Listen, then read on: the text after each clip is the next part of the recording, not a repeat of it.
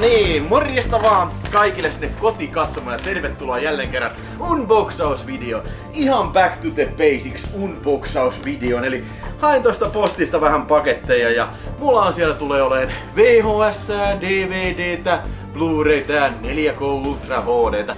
Mutta aloitetaanpa ensin tästä paketista. Tämä oli katsojan lahjoitus ja ihan oikeesti mulla ei ole mitään tietoa tällä hetkellä mitä siellä on. Mulle sanottiin kyllä about mitä siinä on, mutta en mä enää muista.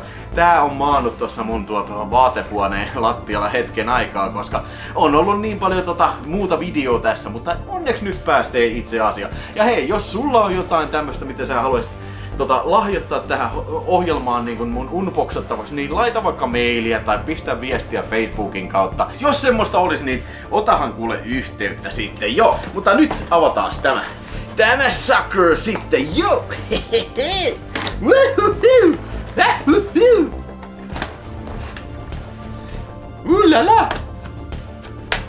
Ullala! Noin! Oi oi oi! No niin, täällähän on kirjekin oikein pistetty meitsille. Kiitos videosta, jatka samaan malliin. Terveisin Jack Shoulder. Oho, tää on oikein The Hiddeni ja Alone in the Darkin ja Freddy kolmosen, ei kun anteeksi Freddy kakkosen ohjaaja on pistänyt meitsille oikein kirja. Tulikohan nää oikein USAsta. Ja siellä lukee vielä hyvää kesää. saa pesää. Ja täältä tulee DVDtä. Oi oi, sieltä tulee heti. My name is Bruce. Eli Bruce Campbellin o, o, näyttelemä ja sitten tuota noin, niin, äh, oliks tää Don Coscarellin? Ei, tää on Bruce Campbellin ohjelma. Mä sekka, ohjaama, siis mä sekoitin siihen tota Puppa Hotep, niin sinähän oli vissiin kanssa Bruce Campbell. Joo, My name is Bruce. Oon nähnyt joskus miljoona vuotta sitten, mutta en muista mitään. Tää on oikein tupla DVD. Disk 1 Mine Feature ja Disk 2 Pekial Features.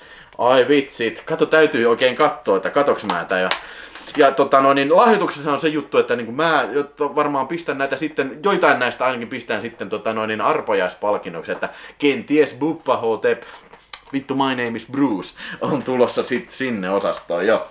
Sitten on Oho, New Edition, Big Lebowski, Scandi-levy. Tää oli muuten semmonen, oi vitsi, tää on irti tää. Tää oli semmonen Scanbox Jupiterin levy. Mulla oli tää itsellä joskus. Ei oo enää, koska nykyään on 4K Ultra HD, mutta siis ihan sika hyvä yksi mun suosikkifilmeistä tein tästä juttua sitten viime vuoden tuossa joulukalenterissa. En nyt muista ulkoa mikä niistä jaksoista se oli, mutta tota no, niin siellä se on joku niistä jaksoista joulukalenterissa. Helvetin hyvä leffa, siis suosittelen ehdottomasti. Ja sit, oi saakeli mikä boksi! Red Scorpion, Nikolai Spetsnaz! Vittu Nikolai Spetsnaz! Spetsnaz Report! Nikolai Spetsnaz! Dolph Lundgrenin äh, varhaisuran teoksia on tää Red Scorpion. Siinä on Tom Savinin efektit ja Josep Ziton ohjaama tämmönen Commando Action-filmi sitten. Kaikki varmaan on sen nähnyt. Tää oli tosi yleinen filmi VHSlle. Äh, Future-filmi on julkaissut tän DVDlle ja meitsiltä taitaa löytyä Arrow-videon tota, toi UK-julkaisu siitä. Sitten tässä on Frankenhooker. Tää on näköjään tämmönen flipperilevy. Ha. Näitä oli aikanaankin. Eli siis kaksipuolinen DVD-levy. Frankenhookeri on hauska, helvetin hauska leffa. Tota, se on toi... Äh, kukas tää oli tää ohjaaja? Tää Frank... Mites mä nyt...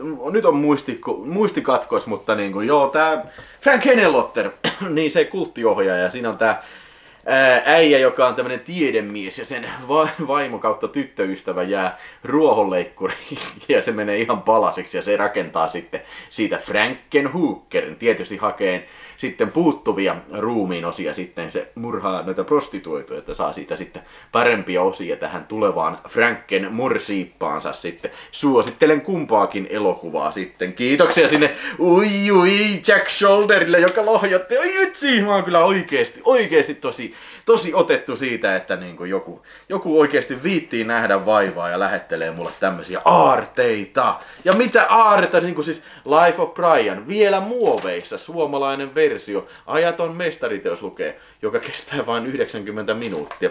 Life of Brian, Immaculate Edition, joo, Mä itse asiassa taitaa löytyä Life of Brian sen Blu-rayna. Mä en tiedä, onko tässä samat ekstrat tuosta siinä Blu-rayssa, mutta hei, muoveissa, että jälleen kerran täytyy ihmetellä, että mikä, mikä tota noin, niin on se juttu, että joku haluaa lahjoittaa tähän ohjelmaan sitten filmi, mikä on vielä muoveissa. Että eikö ole niinku aikaa katsoa vai what's, what's the deal man? What the fuck is the deal man?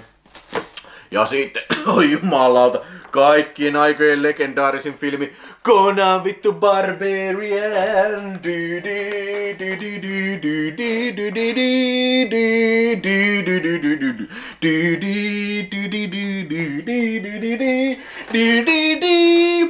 yeah. Löytyy Blu-ray, ja siinähän oli se ikävä juttu, että Blu-rayssa on ne UK-leikkaukset. Tota, mutta ne saa sieltä aktivoitua, kuka muistaa, mä oon sen kertonut kyllä, mutta kuka muistaa pistää kommentteihin, että miten ne saa aktivoitua ne tota, nota, tota, tota, ne leikkaamattomana sen filmi. Vituttaa tommonen saatana kikkailu. Mutta niin kuin siinä on tää su- alkuperäinen suomalainen julkaisu tästä FS-filmiltä. Tää oli tosi hyvä julkaisu silloin aikana. Tää on jo vuosikausia oli meitsillä hyllyssä ja katoin sen monta kertaa kyllä. Ja sinä, joka et ole nähnyt ikinä Conan Barbaria, nyt välittömästi kun, jos siellä on joku, jos siellä on oikeasti joku, joka ei ikinä näy Conan Barbaria, niin pistä kommentteihin, niin mä vaikka lähetän tän sulle sitten. Se, se on niinku jo niinku siis vittu ensiapua, ensiapua sitten. Joo, todellakin. Midnight Express. This contains full screen and widescreen versios. Näyttää aika vanhalta DVltä. Tää muuten, by the way, ihan trivia tietona, tää Midnight Express oli ai, ensimmäinen ainakin ensimmäisiä, ellei ensimmäinen Blu-ray, mitä ikinä osin. No tää on tietysti DVD, mutta se UK Blu-ray, mikä mulla oli, niin se oli, se oli ensimmäisiä, mitä mä ikinä ostin. Ja olihan se hieno, hieno kokemus Blu-raysta. Tuli vaan mieleen. Mä en ole ikinä tämmöistä kanssa nähnyt kyllä Midnight Expressissä. Ja tääkin on tosiaan full screen versio, toisella puolella widescreen versio. Joo, ei kai kukaan full screen versio haluaisi nähdä, mutta tuohon aikaan just niin kuin DVD oli niin uusi juttu, niin oli tollain, tiedätkö, niin kuin niille, jotka niin vittu mitä paskaa, täällä on näitä satanan palkit ylhäässä, ylhäällä ja alhaalla, niin kuin mun televisio se mitä vittua paskaa tää. Mutta niin, jos mietit, että miksi oli näin, niin sen takia. Sitten täällä tulee joku tämmönen, oi oi, True Legend, Uen Wu Ping elokuva. Eli tää äijä, ketä muuten, äh, oliko se ohjannut ton Jackie Chanin Drunken Masterin vai Hmm. Vai oliko tämä se äijä, joka teki Matrixiin nämä karate, karate koreografia. No niin, nyt mä heitän taas ihan legendaa päästä, mutta niin kuin, oli miten oli. Tässä on tämmönen hongkongilainen action-filmi, jossa näyttelee, vittu kun on pientä tekstiä, ei näyttele pientä tekstiä, vaan, vaan tota noin, en mä näe näitä näyttelijöitä oikeesti. Vittu. En mä tiedä. No en tiedä, en tiedä, en tiedä, mitä, en tiedä tästä filmistä mitään. True Legend. Ei mitään tietoa. Onko tässä Jet Li? Onko tää sukua sille Fist of Legendille? Mitä, mikä tää tämmönen? Never heard. Mutta joo, pistä kommentteja, jos tiedät. Ja jos suosittelisi meitsille tuommoista. Ja sitten tietysti Christopher Nolanin klassikkofilmi Memento. Kai Pierce, Carrie Moss ja Joe Pantoliano on tässä, tässä filmissä sitten. Tää oli Christopher, ensi, Christopher Nolanin ensimmäinen leffa tai siis ainakin semmonen, mistä se tuli maineeseen. Ja tota noin, niin on, tää oli silloin tosi hyvä, kun tää tuli, mutta täytyy sanoa, että kun on kattonut tätä uudestaan, niin aina se tuntuu, se, vähän, se on kyllä mun mielestä vähän menettänyt tehonsa kyllä. Siis sillä kun, kun sä tiedät mikä se juttu, ja siis kun se on niin älytön juttu, niin ei kukaan ihminen voisi operoida tolla, että siis sä niin kun, tiedätkö, niin kun muistaisit niin kun, vaan tunnin aina takaisinpäin, niin joo. Vähän, vähän turhan nokkela niin kuin siis sillä että kestäisi niinku useampia. Siellä varmaan on monia, joiden, suosikkifilmi on, mutta, mutta tota noin, niin tämmönen mielikuva mulla nyt tällä hetkellä tästä on, että joo. Mutta tää on Egmont-filmin julkaisu, DVD. Mä en tiedä, oliks, tää, oliks mulla tätä edes. Onko mulla ikinä ollut Memento? Mä en ole ihan varma siitä. Ehkä just tästä syystä, että niinku, semmonen filmi, mikä on hyvä, mutta niinku, jaksaako sitä niinku, onko se, Jokut filmit vaan on semmosia, että niinku, vaikka ne on hyviä, niin ne ei välttämättä kestä niinku, uudelleen katseluita. Ja musta vähän tuntuu, että se on vähän semmonen. Mitä sä oot mieltä? Niinku, hei, stand me. Tai siis niinku, korjaa, jos mä puhun sun mielestä aivan täyttä peet. Dogma, joo, tämähän oli tää äh, Kevin Smithin elokuva. Mä oon tän nähnyt silloin, me vuokrattiin tää silloin, kun tää oli ihan uusi. Ja siis oli kovat odotukset, oli nähty jo J.S. Silent Pop Strikes Back, muistaakseni kyllä. Mä en tiedä, tuliko tämä ensin vai tuliko se ensin. Mutta anyway, niin kun, muistan, että tätä odotettiin kyllä, että tämä on varmaan hyvä, kun tämä on tämä sama äijä, mikä on tehnyt näitä Clerksia ja mitä muuta se oli tehnyt siinä aikaa. Mutta sitten kun tää tuli, niin ui vittu, siis niin kuin, vittu mua vitutti, kun mä kattelin. Siis tämähän on ihan tämmönen Jeesus-elokuva, että tässä niin kuin hehkutetaan, siis se niin kuin elokuva, mikä niin kuin hehkuttaa niin kuin oikein, että Jumala on sitä ja Jumala, nää, siinä on, Jumala on niin kuin oikea ja Mä en tiedä, en mä tiedä. Siis, niin kuin, mä, siis tää on vaan jäänyt päällimmäisenä mun mieleen, niin kuin, siis, että vittu, että niin kuin, oli, oli ärsyttävä filmi. Mutta juu, voi olla kyllä, että en, en kyllä kato toista kertaa. Niin kuin siis. Mutta niin kuin, joo, ehkä tää on sun, jo, sun, juuri sinun suosikkifilmi. Ja kato sitten, oliko tää tämmönen Jeesus Paatosta vai muistanko ihan täysin väärin. Siis mä oon oikeasti nähnyt tämän silloin, kun tää on tullut saatana.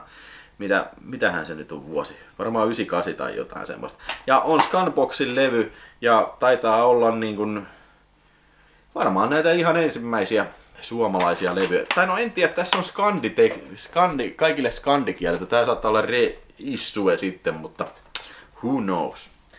Joo, mitäs muuta täällä on lahjuksia? No siellä on Sharknado vielä muoveissa jostain syystä. Tara Reid, Ian Chelling ja John Hurt. Tiedätkö mikä mun mielestä on parasta niin kuin todellakin Sharknado-elokuvissa? Mä oon nähnyt vaan ensimmäisen.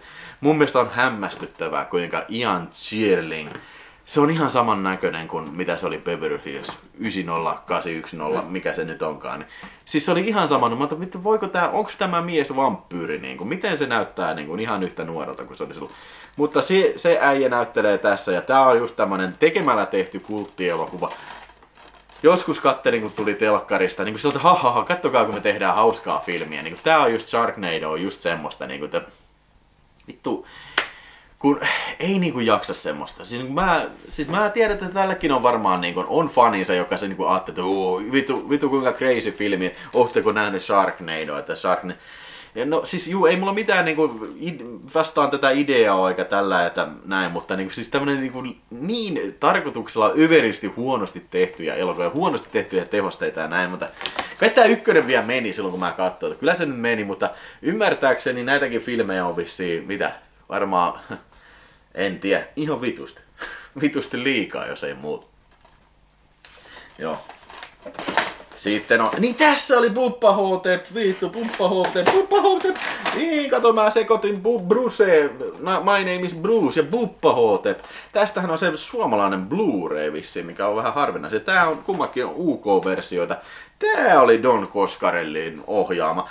Tän on kans joskus nähnyt, enkä muista kyllä yhtään mitään. En, en mulla mitään käsitystä, oliks tää hyvä vai oliks tää huono. Mun täytyisi varmaan kyllä katsoa nää. My name is Bruce. Nyt kun rupesin ajattelemaan, onks mä ikinä nähnyt tätä My name is Bruce? Vittu, en. Ja sarjassamme Sharknadoja, niin täällä meillä on Shant Sharks. Hiekka Height. No juu. En ole nähnyt. Nää on näitä just Sharknado-tyyliin tehtyjä height, crazy idea, tahalteen tehdään huonoja siinä olisikin var, varmaan niin nyt siellä varmaan, olisi, olisi varmaan hienoa, jos mä tekisin sitten spesiaalia, kaikkia näitä uusia Shark-elokuvia, niin kuin siis joo.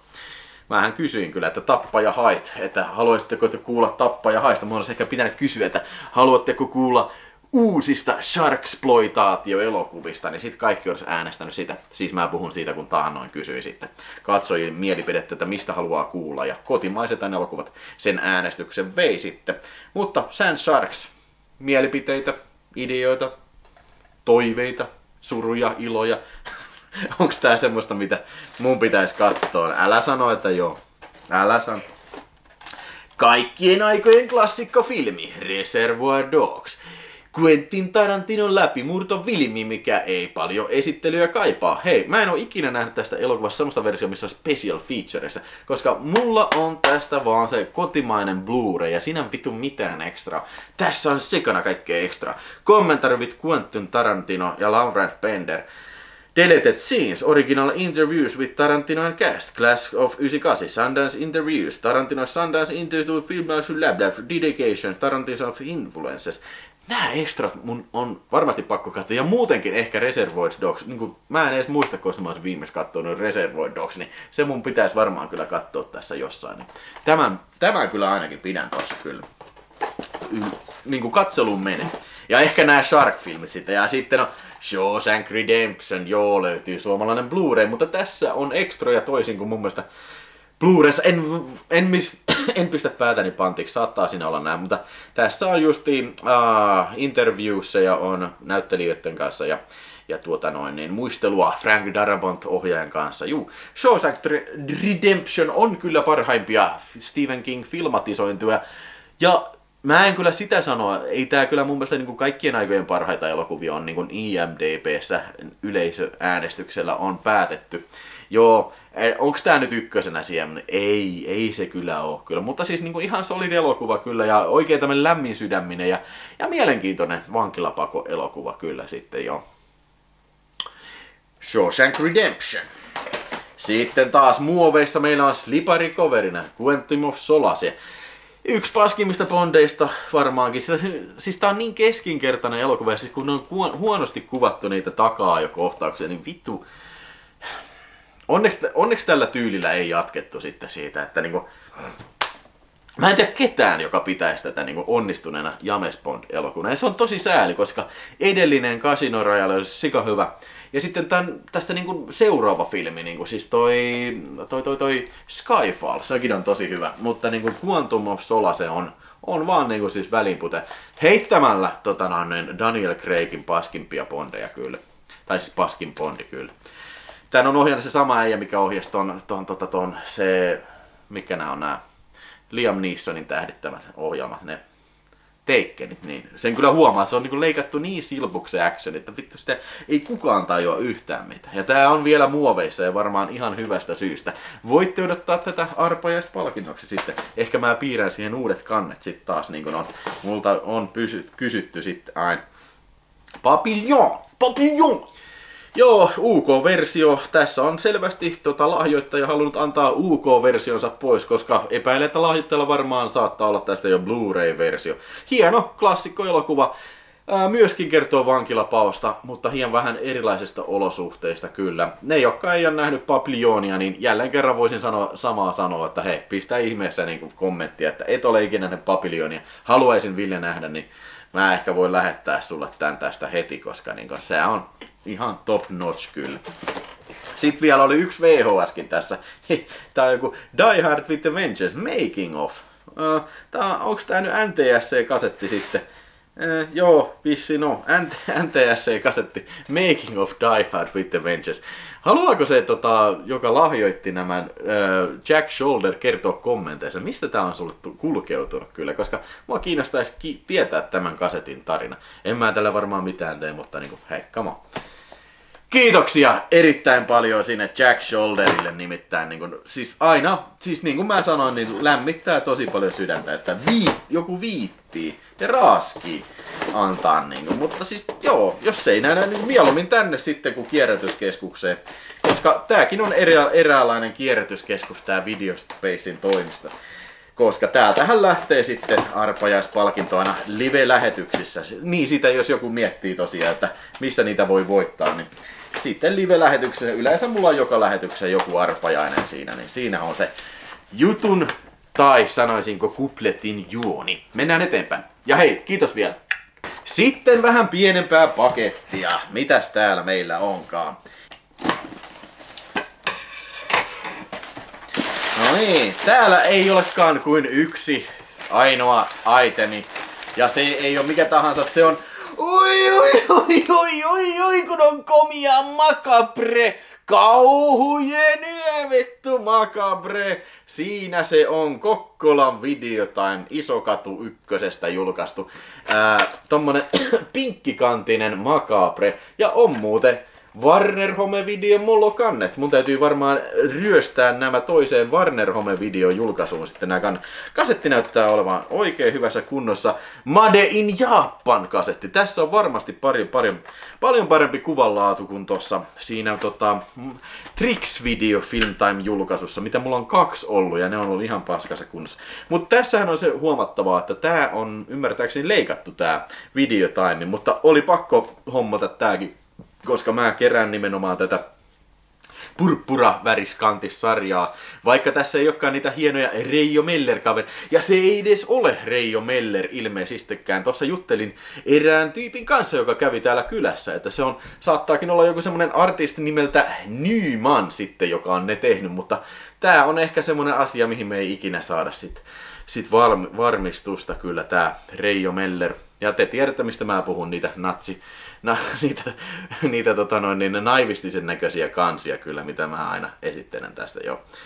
Joo. Mutta hei, tässä on hieno kansi. Tosi, tää on alkuperäistä julistetaidetta tää. Ja mä tykkään siitä, että tässä ei ole mitään muuta macabre kauhuinen. Tää on niinku mun mielestä tyylikästä design. Luetaan takakansi. Talo New Orleansissa, päivisin kaikkiaan kuin, mistä tahansa talossa, missä tahansa kaupungissa, mutta tällä talolla on kummallinen vaikutus Janein ja hänen ystä, ystä, tyttärensä Lucyin öisi. Elokuva, joka on tosiaan nimensä arvoinen. Macabre, kauhunyö. Nonni. Yes, noni. Oi juman kautta. Ei juman kautta. Kyllä nyt joulupukki on tullut jo aikaisin tänä vuonna. Oi, paketti on auki. Kotka on laskeutunut. Sieltä nipsahtaa ja noin poikki ja sit mennään. Muovi vittu, kortsut vittu, nyt vedetään paljaalla. Ai ai. Hei, suomalainen kasetti, Texas Chainsaw Massacre. No, tietysti tuttu kasetti. Äh, ajattelin tehdä videotalkki, Video Treasures-ohjelmaa. Ajattelin tehdä Texas Chainsaw Massacre-juttuja. Tämähän on hyvä sitten olla siinä esitellä, joten tää menee Tää menee hyötykäyttöön. Sitten hei, Streets of Fire, hei. Tämmöstä en olekaan nähnyt. Myyntikasetti, liekehtivät kadut. Joku sanoo, että tämä on science fiction elokuva. Mutta tota, no, niin mä, en ole, mä en ole ikinä vielä tänäkään päivänä nähnyt Streets of Fire. Että, mutta mä ehkä taidan odotella sitä, että näen Blu-ray tai DVD tästä. Klassikko kasetti. Tää mulla oli joskus pentuna väristyksiä, Tremors. Ja tässä on legendaarinen tää kirjoitusvirhe. Mitä siellä lukee? Väristylsiä. Onko tää joku vittuilua kasetin tekijä vai eiköhän se ole vaan rehellinen kirjoitusvirhe? Joo, helvetin hyvä leffa, jos et ole nähnyt. Mutta mikään näistä ei vielä ole se, minkä takia mä tämän paketin ostin.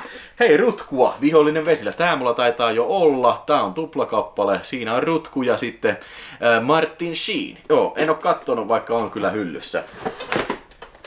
Mies jalastonansa. Tää on kyllä niin yleinen kasettu kuin olla ja voi ja helvetin hieno juttu.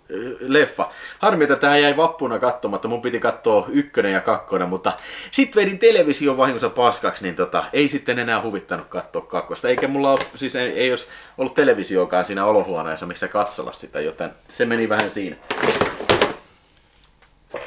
David Cronenbergin Existence, kyllä hyvä filmi, jos oikein muistan, löytyy kyllä Egmont-filmin DVD.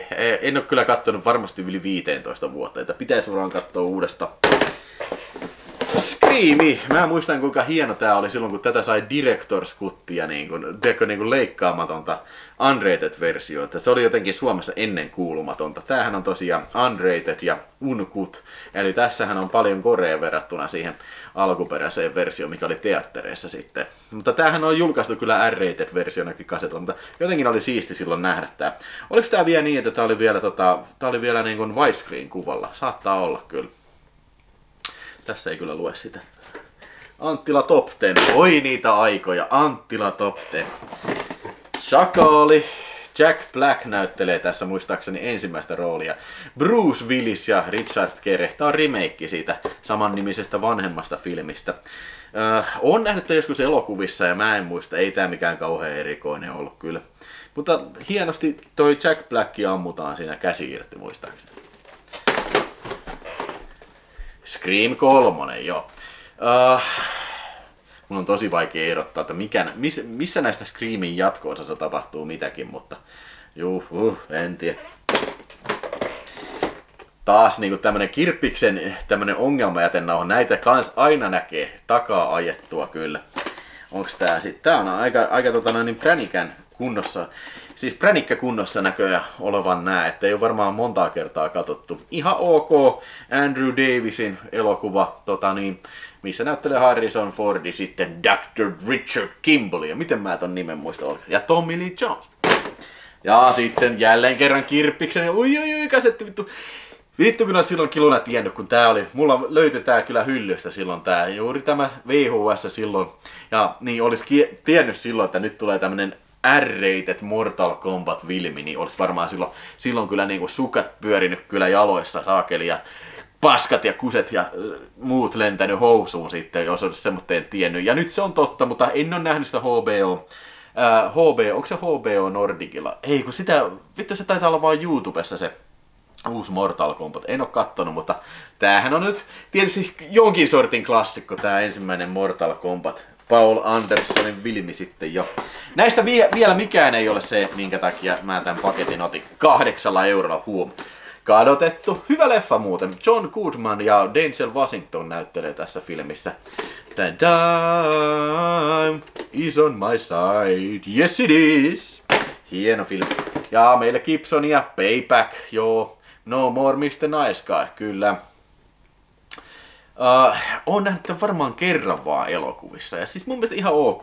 Eikä sillä nyt oikein mitään erikoista syytä on, miksi mä en ole tätä uudestaan katsonut. Mutta ei kaikkea vaan tuu katsottua uudestaan tekisi kyllä mieli katsoa ymmärtääkseni sitä joku director's cut, mutta missä oli jotenkin uudenlainen värimääritelty tai jotain, hei pistäkää mulle kommenttia, mitä, jotenkin mulla on tämmöinen muistikuva. Jos joku on sen nähnyt, niin onko se semmoinen, että se kannattaisi hommata? Uh, en ole ikinä nähnyt Michael Keaton ja Andy Garcia, joku tämmönen näitä 90-luvun trillereitä ilmeisesti. 98 vuodelta, todella tiukka trilleri lukee. En ole nähnyt, en tiedä tästä mitään kyllä. Elokuvan nuori naimaton nainen, ohjaaja uusi. What the fuck? Eikä vieläkään, vaikka tässä on Dolph Lundgren, niin tämä ei vieläkään ole sitä, sitä good stuffia, minkä takia tätä pakettia lähdin sitten huutamaan. Tää on, on mä tämän joskus nähnyt, mä en muista yhtään mitä, että oliks Dolph Lundgren tässä pahis vai? Jouluaattona 99, viikkoinen vuosituhannen vaihdetta keskellä New York City löytyy hyvin vanha hauta. Paikalliset kutsutaan arkeologi Karen Goodleaf. Hän löytää pien avaimen, jolla pääsee helvettiin ja Armagedonin maailman tuhoon. Karelle löytää, Karenille löytö merkitsee mahdollista maineeseen ja kunnian, mutta kaikki ei asiaa samalla tavalla. Paikalle ilmestyy Lucas Dolph Lundgren, pappi, joka väittää, että hänet on lähetetty paikalle kätkemään avan. Jossain on nimittäin Minion, paholaisen kuulematon palveli. Öö, joo, joo, okei, okay, en tiedä. Voi olla, että on nähnyt, voi olla, että en vaan muista, niin kuin kumpikin on ihan, ihan validi pointti. Ää, Juu, nyt alkaa olemaan sitä settiä, minkä takia tämän hommas. Eli äh, nyt, oi oi, John Rhys Davis, Rutku Hauer ja Mark Dacascos toiminta-elokuvassa nimeltä Tappava ydin, juman kaude. James Seal on ohjannut ja julkaisu on Scanbox. Ja tää on Letterbox-format. Tää varmaan tarkoittaa sitä, että tää saattaa olla julkaistu Suomessa DVDlläkin, mutta en ole tästä ihan varma. Cinetel Films on tuottanut tää ja en ole nähnyt, mutta tää on näitä justi 90-luvun, ah, tää on 2002 vuodelta, joo, mutta tämmöisiä unohdettuja action-pätkiä, mikä saattaa olla ihan hyvä. Maanalaiset ydinpommitestit ovat saaneet eteläisen Tyynemeren mannerlautat liikkeeseen, mikä aiheuttaa uhkavan keskitä lämpötilojen nousua maapallolla. Presidentti Nelson kutsuu tiedemiehet koolessa se etsimään ratkaisua ongelmaa. Tutkijat Salin ja McGrath tulevat siihen tulokseen, että ainoa tapa pysäyttää mannerlaattojen liikkuminen on asentaa lämpöydinpommi maan alle tarkoin laskettuun kohteeseen nolla kohtaan kuinka ollakaan, Los Angelesin Kaliforniaan. Joo. Joo, mä voin kyllä teille kertoa tota, no, niin sen verran maapallon fysiikasta ja muutenkin tällään tieteestä sen verran, niin ihmisten kaikki maailman ydinpommit yhtä aikaa räjähnyt, ei vittu tekisi vittu mitään. ei vaikuttaisi yhtään mitenkään niin kuin maapallon mihinkään geologiseen ilmiöön tai mihinkään. Niin kuin. Että niin kuin, en tiedä mitä tapahtuu, jos kaikki maailman ydinpommit vietäisi Yellowstonein, Yellowstonein tälle tulivuorialueelle räjähdyttäisiin. Niin olisiko sillä mitään vaikutusta? Tuskin sillä. Jos ne porottaisi sinne maan alle niin kuin lähelle niitä magmapankkeja, niin olisiko silläkään mitään va- vaikutusta? En tiedä kyllä. Mutta niin kuin, joo, hauskoja nämä tämmöiset kyllä, katastrofi 90-luvun filmit kyllä, ei siinä mitään. Ja sitten oli, oi oi oi oi, Michael Dudikoff. Oi oi oi, tietysti mikä on Michael Dudikoffin pahin kilpailuja. No se on tietysti Michael Dudikarjala. Joo. Ihan vitu hyvä vitsi. Toni Kurtis näyttelee tässä George Esparmer on ohjannut tämän jälleen kerran Cinepix-filmi. Uh, Hardball on tämän nimi. Tappolista. En ole nähnyt, mutta Michael Dudikarjala, niin se on kyllä kovaa ta- tavaraa. Mutta sitten hei, Oliver Gruner, tää oli se, ja Arsi muuten vinkkas tästä, että nyt olisi kova paketti tuolla, ja kahdeksalla eurolla sitten Egmont Entertainmentin Velocity Trap, Oliver Gruner. Syrjäisessä avaruuden kolkassa, yes, yes, yes, avaruudessa olla, ui, ui, ui, ui. Valauta, ai saatana. Syrjäisessä avaruuden kolkassa on paikka nimeltä Velocity Run. Kahdesti vuodessa sinne saapuu raskaasti panssaroitu alus, joka kuljettaa miljardeja dollareita siirtokuntien ja maan keskuspankin valuilla. Kylmäkäteinen on kovaa valuuttaa tietokonerikollisuuden rehottaessa. Yes, avaruus, tulevaisuus ja tietokonerikollisuus nää, ja potku, potkunyrkkeilyäijä, niin nämä kyllä niin kuin pistää vibaa vilhon sukkiin kyllä aina. Nyt joukko kovapintaisia palkkasotureita sinnittelee täydellistä, suunnittelee täydellistä rikosta paikassa, jossa todisteita ja silmänäkijöitä ei ole mahdollisuuksia. Vain yksi mies voi pysäyttää avaruuden syövedessä riehuvan rikollisroikan. Vittu, se on Oliver The World Champion Kickboxer Gruner. Ihan varmasti. Ui, ui, ui tulevaisuuden rikollisen vastaisesta taistelusta kertovan elokuvan pääsee sitten vielä Oliver Nemesis Gruner, Alicia Coppola ja Ken Oland. Joo, en tiedä, Tää voi olla täyttä paskaa tai ihan katsottava. Hyvähän tää ei varmasti ole kyllä, mutta Velocity Trap en ole ikinä nähnyt ja kiitos Arsille, että vinkkas tämän, tämän herkkupallerin meitsille. Mä raportoin sitten, että oliko tämä herkkua vai pelkkää paskaa. Sitten vielä yksi pienen, pieni, pieni, pieni paketin pallero täältä tulee. Joo. Tämähän on tullut CD-Onilta. Ostin nyt, kun oli, oli, oli tota noin, niin vielä saatavilla. Meinaan nää menee yllättävän nopeasti loppuun myydään, kyllä. Ja tämä on, kyllä kyllä, oi oi oi, uusi kimaltava, oi oi, Last Action Hero, Skandinaavi, Steelbook-julkaisu sitten, joo, tästä elokuvasta. Eli tästähän on se standardi, ää, toi standardi 4K-levy, missä on se typerä niin kuin fotosopattu kansi, mutta tää oli mulle niin kuin se, mä nyt ajattelin, että mä upgradea. Mulla on tää vaan DVDllä. Ja tässä lukee, tähti Arnold Schwarzenegger syöksyy ruudun läpi vaikuttavana elokuvasankarin tässä seikkailun täyteisessä elokuvassa, joka on ylistetyn John McTiernanin Predator Die Hard ohjaama. Ja special feature on 4K Ultra HD kommentaari with John McTiernan. Ja hei, todellakin toivon, että tämä on siinä 4K-levyllä tämä kommentaari, että, että se voi katsella sitten siinä, koska luonnollisesti tämä sisältää sitten tietysti myös Blu-ray-levyn sitten tämä. Ja hei, kudos tolle tota noin niin, Sony Pictures Entertainment toisin kuin Paramount, niin ne viittii tehdä niin kuin etiketit tähän myös 4K-levy. Ja siinä toisessa perusversiossa, niin siinä on tää kansi, mikä on tässä Blu-ray-versiossa. Tää, en mä tiedä, ei kauhean hyvä, hyvä kyllä, mutta tässä meillä on tää, tässä versiossa tämä kunnon alkuperäinen julistetaide. Täällä on ta- takana tämmönen kuva. Ja edessähän te näitte jo mikä siinä on. Kommentaari Deleted ja Alternate Scenes. Joo, mielenkiintoista. Alternate Ending, wow. Mä en ole ikinä muuten nähnyt mitään ekstroja tästä, joten mielenkiinnolla odotan, mitä hän tässä mahtaa olla. Big Gun, music video by ACDC. Big Gun, di, di, di, di, di. Original Behind the Scenes Feature, tämä teaser. Joo, no niin, tää piti kopata sitten, koska niin kun oli, oli sen aika mun mielestä päivittää kyllä sitten DVD kunnollisen versioon sitten. Kiitoksia CD on ja kiitoksia tuota noin niin katselijoille sitten, että jaksoitte katsoa tämänkin unboxauksen. Tulipa tästäkin pitkä, vaikka Ajattelin, että tämä menee nopeasti, mutta ei se nyt sitten mennytkään sekään sitten. Joo. Ei mitään. Hei, seuraavan videon sitten ja nyt minun on aika toivottaa sinulle oikein hyvää päivän jatkoa. Moi!